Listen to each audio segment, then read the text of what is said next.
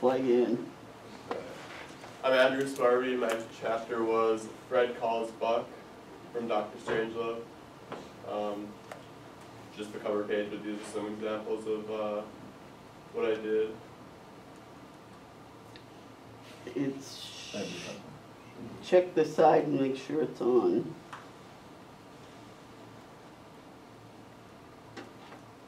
No, if it's connected, I'm afraid you're gonna have to do it the other way. So, uh, this is just like the, the first slide I did. Um, I was messing around with just a shape for the woman. She's the only woman in the whole movie, uh, Miss Scott, and I wanted to make her feminine and also like try and give her a sexy vibe as much as I could with geometric shapes.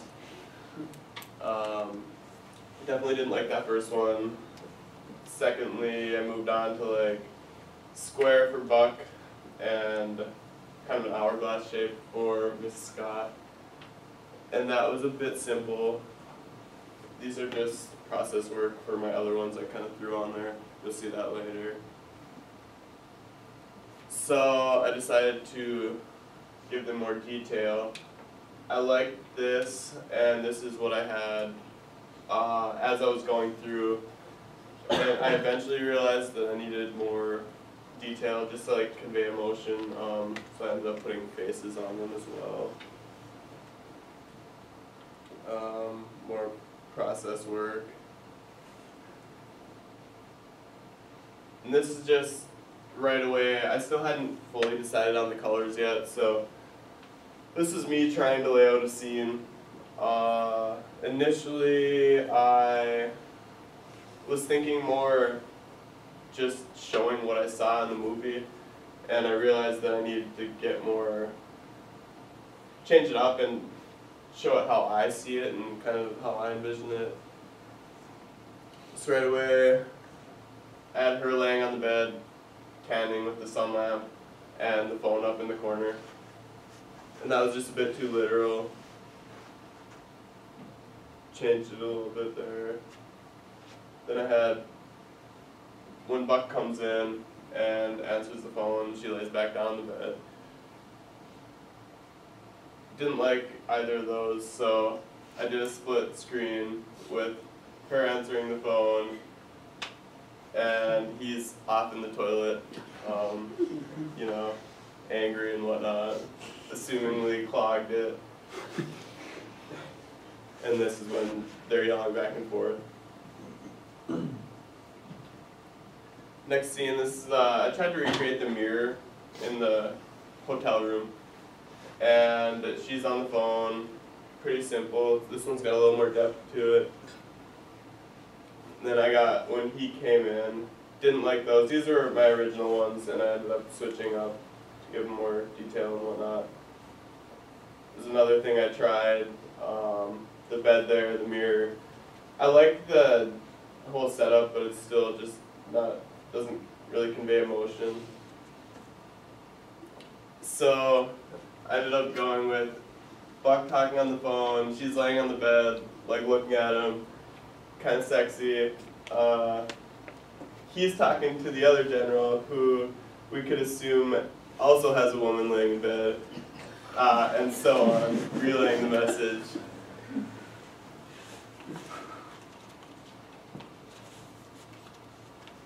Some process work I did for the bomb, just some circles, oval, combined shapes. And this is the third scene.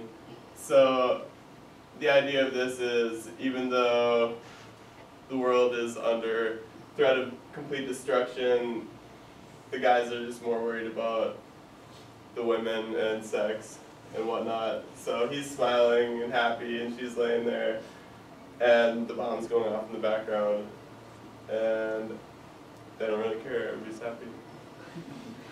So final scenes again.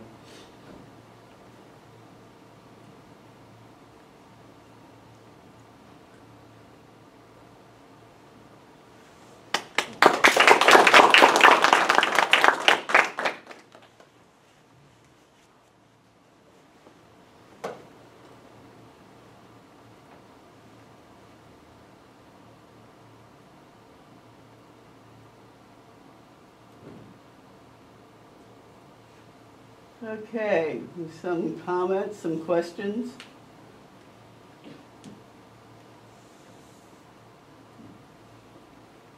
Yes. Oh, why did you choose to not use black at all? Well,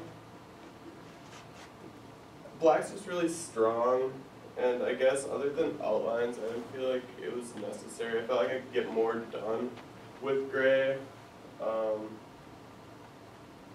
just it's more neutral. Uh, having a background, because I like to be able to choose, use all my colors for kind of what I want, and black is just really dark, and I could use blue for a lot of the darker stuff. I think it has a good effect here because the film is black and white, so bright colors and that sort of stuff aren't really essential. You really just need color here to distinguish one shape and person from the other and kind of balance out some of the compositions. So I think having these very subdued colors has, uh, it's like a similar effect to the black and white film that, you know, you, you have to look for the real distinctions there. Other questions and comments? Yes. A few times, um, I like how you set up your scenes, but a few times I was confused that she was lying on a bed.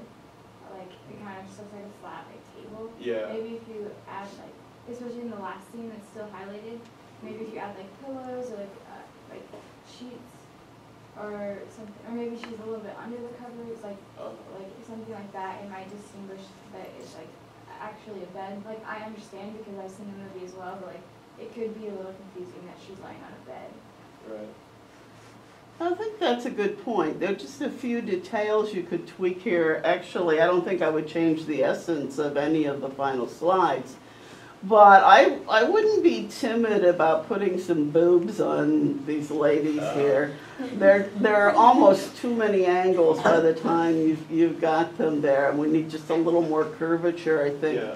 just little details like that, you know.